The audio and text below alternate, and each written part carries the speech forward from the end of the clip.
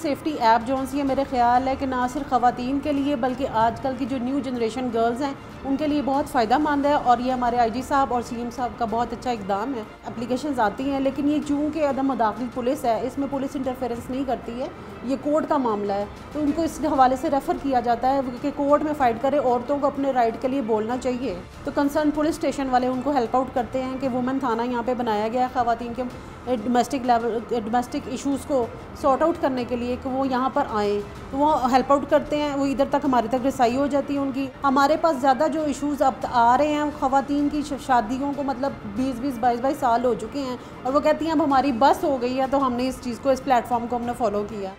वालेकुम नाजरीन। प्रोग्राम कानून के दायरे में मैं हूँ आपकी मेज़बान ताहिरा अली राना नाजरीन, आज हम प्रोग्राम में बात करेंगे ख़वान को दरपेश मसाइल के हवाले से। घरेलू तशद हो, जिनसी हरास की, इस किस्म के जो भी मसाइल आजकल की ख़वान फ़ेस करती हैं। इस हवाले से हमारे मुल्क में क्या कानून साजी की गई है, क्या सज़ाएँ हैं? इससे बात करने के लिए आज हमारे साथ प्रोग्राम में मौजूद हैं S H O women police station Tooba Munir Sahiba. आइए उनसे जानते हैं कि चौदह साल के इस एक्सपीरियंस में उन्होंने किन किन चैलेंजेस को फेस किया और इन सब मसाइल को वो कैसे हल करती हैं। असल मैम सबसे पहले आपकी कीमती वक्त का बहुत बहुत शुक्रिया। जी बहुत शुक्रिया आपको। मैम मुझे बताइएगा कि रोज़मर्रा जो मसाइल ख़वान को फेस करने पड़ते हैं सबसे ज़्यादा किस हवाले से आपको केसेस रिपोर्ट होता है? हमारे पास ज़्यादातर आजकल जो केसेस हैं वो डोमेस्टिक लेवल पे है। डोमेस्टिक वायलेंस जो है ख़वान का वो हम बहुत ज़्यादा फेस कर रहे हैं। एप्लीकेशन हमारे पास बहुत ज़्यादा है। आपने बताया कि घरेलू तशद के केसेस सबसे ज़्यादा आपको रिपोर्ट होते हैं। घरेलू तशद के हवाले से हमारे मुल्क में क्या कानून साजी की गई है? घरेलू तशद के हवाले से जो कानून साजी है उसमें वुमेन प्रोटेक्शन एक्ट जो है वो हमारा पाकिस्तान में आ चुका है जिसकी इम्प्लीमेंटेशन हो रही है। 509 पीपीसी की सेक्शन है इसके अलावा मोडेस्टी पे है 354 ए जो कि हम एफआईआर में नाम कर रहे हैं उसके ऊपर अमल दरामद कर रहे हैं। इस हवाले से कौन कौन से बिल पास हुए हैं और क्या क्या सज़ाएँ हैं? जी इसमें ये है कि तीन साल कैद या जुर्माना बीच में आए या दोनों जोन से कैद और जुर्माना जोन से है, वो सजाओं में दे रहे हैं। घरेलू तशद के अलावा हरासमेंट के केसेस भी आप लोगों को रिपोर्ट होते हैं। तीन किस्म की हरासमेंट है रिटर्न में है वर्बली है या यूजुअली है जो कि हम देखने में आ रही है उसके ऊपर भी इम्प्लीमेंटेशन की जा रही है। अच्छा किसी को घूरना या देखना ये भी हरासमेंट में ही आता जी ये भी हरासमेंट में ही है। हरासमेंट के हवाले से क्या कवानीन है? हरासमेंट के जो कवानीन है उसमें यही इम्प्लीमेंटेशन की जा रही हैं। इसके अलावा वर्किंग प्लेस पे जो वुमन की हरासमेंट है वो उसकी एप्लीकेशन हम लोग बहुत डील कर रहे हैं जिसपे हम लोग जो है कानूनी कार्रवाई कर रहे हैं। ठीक है उसके भी उसकी भी सजाएँ हैं उनके भी जुर्माने। उनके भी जुर्माने और सजाएँ दोनों ही हैं। तो बस साहब सी एम साहब के जेर सरपरस्ती आई जी पंजाब का एक बहुत अच्छा इनिशिएटिव है वुमेन सेफ्टी ऐप के हवाले से।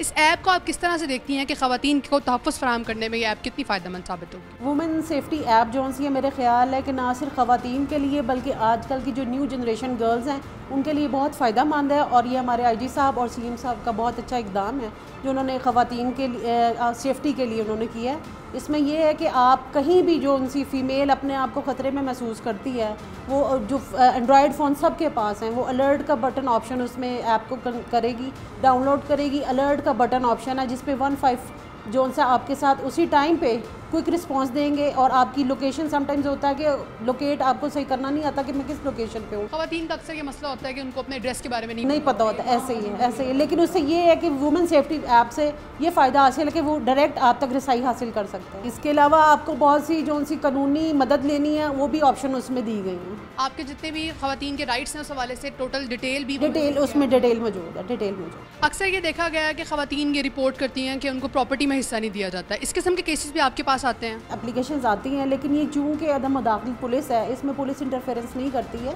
ये कोर्ट का मामला है तो उनको इस हवाले से रेफ़र किया जाता है कि कोर्ट में फ़ाइट करें औरतों को अपने राइट के लिए बोलना चाहिए। और मैं समझती हूँ कि अपना राइट इस्तेमाल करें तो उनको हम ये गाइडलाइन देते हैं कि आप कोर्ट की तरफ़ रजू करें रेप और जिनसी ज्यादती के केसेस भी आपके पास आते हैं। इसके लिए ये है कि हमारे जेंडर सेल्स बने हुए हैं और रेप की सेक्शन 376 के तहत जो उनसे डिज़ाइन इनको सज़ाएँ दी जा रही हैं पनिशमेंट है जुर्माने हैं और ये है जो जेंडर सेल के लिए बने गए हैं जो हर डिवीज़न में मौजूद हैं। और इस हवाले से क्या सज़ा है? तो ये डिपेंड करता है कि जज जो उनसे आप आपको प्रोसिक्यूशन वाले जो उनसे जज साहबान हमारी जुडिशरी कितनी आपको सज़ा देती है और कितना जुर्माना जो उनसे वो करती है। ठीक है वो case to case vary case to case जी जी। उसमें इसमें भी जुर्माना है और इसमें भी सज़ा। सज़ा है। इसमें उम्र कैद भी है। आप कह दें कि इस उम्र कैद भी हो सकती है। ऐसे जराइम की एप्लीकेशन दर्ज करवाने का क्या प्रोसीजर है? खातून पुलिस स्टेशन में या आपसे किस तरह से कॉन्टेक्ट कर सकती है? इसमें यह है कि खातन हमारे पास अगर आती हैं, अगर उनका डोमेस्टिक लेवल पर कोई इशू आ रहा है तो कंसर्न पुलिस स्टेशन वाले उनको हेल्प आउट करते हैं कि वुमेन थाना यहाँ पे बनाया गया है खातन के डोमेस्टिक लेवल डोमेस्टिक इश्यूज़ को सॉर्ट आउट करने के लिए कि वो यहाँ पर आएँ तो वो हेल्प आउट करते हैं, वो इधर तक हमारे तक रसाई हो जाती है उनकी। उसके बाद हमारे फ्रंट डेस्क बना हुआ है, वहाँ पे एप्लीकेशन देती हैं, हमसे अतमाद से बात करती हैं, जो दूसरे मर्द हजरात या मर्द कोलीग्स वगैरह से बात नहीं कर सकती। उसके बाद आई ओ जोन से उनको अच्छे तरीके सुनने के बाद उस पर जो एफ़ आई आर अगर बनती है एफ़ आई आर लॉन्च होती है, अगर कोई कानूनी कार्रवाई, इंसदादी कार्रवाई करनी पड़ती है तो हम वो करते हैं।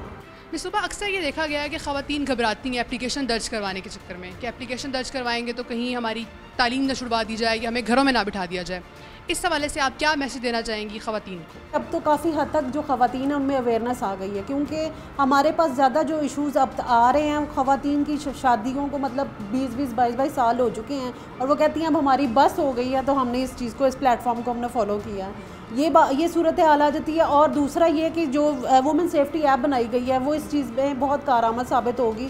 अगर खवा लड़कियों को कॉलेज़ में हम ये सेमिनार या वर्कशॉप रखें और इनको ट्रेनिंग दी जाए इस हवाले से कि ये हेल्प ये जो ऐप है आपके लिए हेल्प आउट है हेल्प करेगी आपकी तो मेरा ख्याल है कि उनमें कॉन्फिडेंस बहाल होगा। पुलिस डिपार्टमेंट ने काफ़ी टफ जॉब है। किन किन चैलेंजेस का सामना करना पड़ा? चौदह साल आपकी सर्विस है। थ्रू आउट द जर्नी क्या क्या चैलेंजेस फेस किए और हमारी देखने वाली खातन को क्या मैसेज देना चाहेंगे? देखिए स्टार्टिंग में हम लोग जिस सोसाइटी से बिलोंग करते हैं ना वो माशरा ख़वातीन का कहीं जॉब करना पसंद नहीं करता और हर तरह की बातें सुनने को मिलती हैं।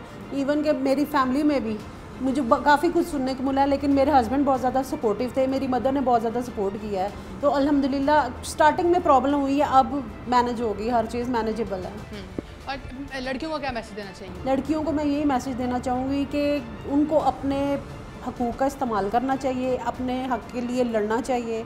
और मेरा ख्याल है कि ये हमारी जो फ़ील्ड है, मर्दों के शाना पे जाना है हमें, जिस तरह ट्रेनिंग ट्रेनिंग करवाई जाती है जेंट्स के साथ। तो बिल्कुल हाँ जी हमें बिल्कुल अपने आप को एक मेल ही कंसीडर करना पड़ता है इसमें इस डिपार्टमेंट में आके फ़ीमेल और मेल का कोई यहाँ पे कंसेप्ट नहीं है। Thank you so much ma'am thank you sir Nazeen जैसा कि तूबा साहिबा ने हमें बताया कि हमारे मुल्क में कवानीन भी मौजूद हैं सख्त से सख्त सज़ाएँ भी मौजूद हैं। अगर आपको इस तरह का कोई भी मसला दरपेश हो तो आपको घबराने की ज़रूरत नहीं है।